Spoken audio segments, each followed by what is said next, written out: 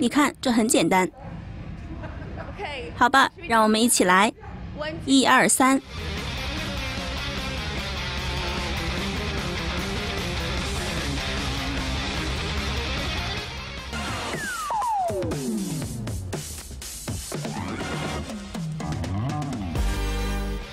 重金属乐队唐卡德已经成立了三十多年。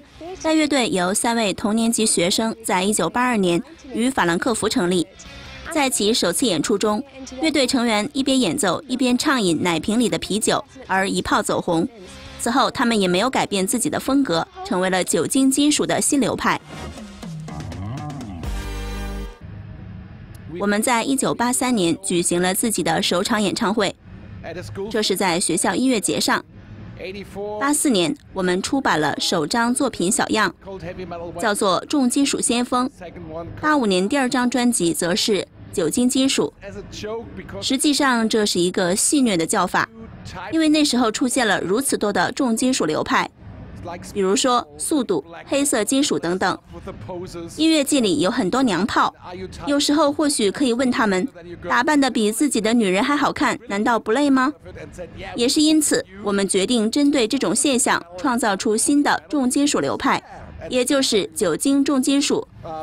而且当时我们也非常喜欢喝啤酒。八六年的时候，我们与一个录音棚签署了合同。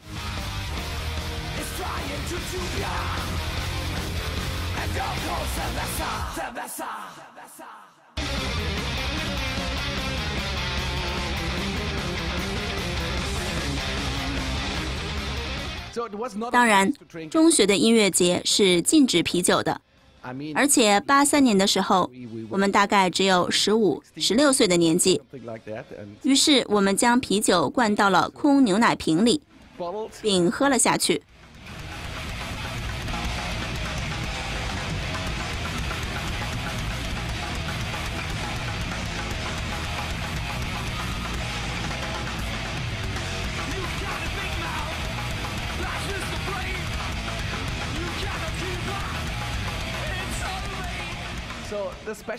我是在七十年代末八十年代初兴起的英式重金属风潮中长大的。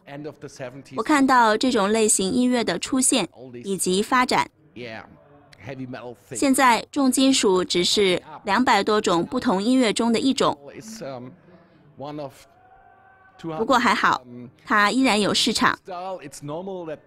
但是当然，看到这种音乐风格的诞生，也是相当有意思的事情。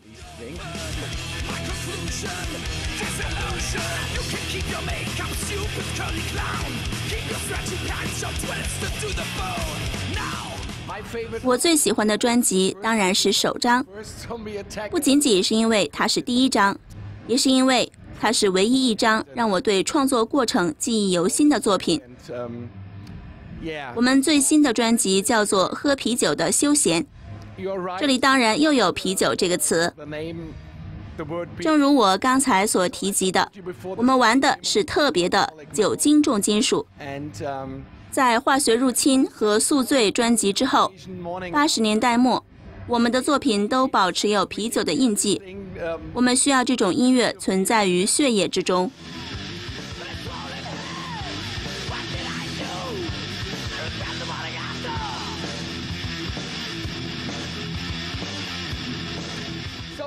如果你身上没有重金属的特性，如果你不喜欢这种音乐的话，那么你就不会有好的作品。这需要去感受这类音乐的精髓。重金属是相当有侵略性的音乐，但是粉丝们都很友善。音乐会上没有暴力，只是大家听着音乐，然后一起嗨而已。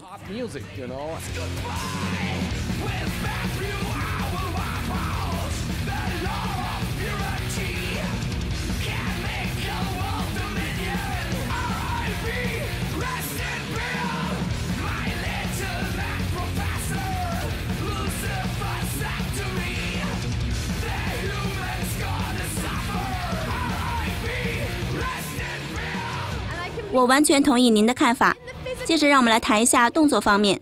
您是否能够教我一下甩头的动作该怎么做，以便我能够牢牢的记住？你看，这很简单。好吧，让我们一起来，一二三。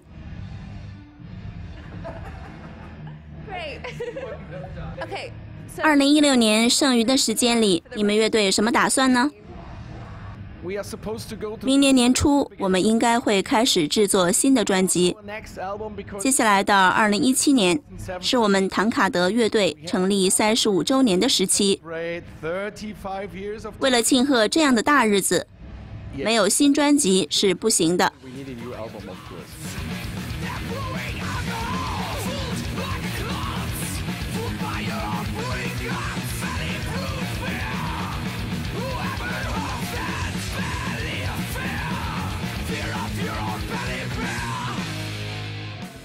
感谢您抽出宝贵的时间接受我们的采访。谢谢你和我一起喝啤酒。太棒了干杯。